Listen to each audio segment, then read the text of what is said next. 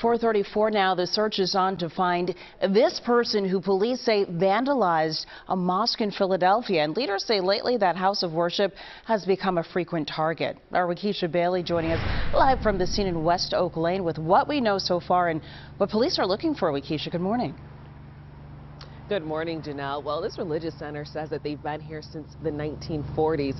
They also tell us that it's unfortunate that this is not their first time experiencing vandalism on their property. Now, this was the scene from Friday night. As you can see, a security camera captured a man spray painting Jesus Christ on the center's doors and on another wall, the perpetrator painted symbols like the Star of David with an X drawn over it. Now, civil rights leaders are calling for an investigation. This is all happening just days before the start of the Muslim holy month, Ramadan. Faith leaders question, will other centers be targeted?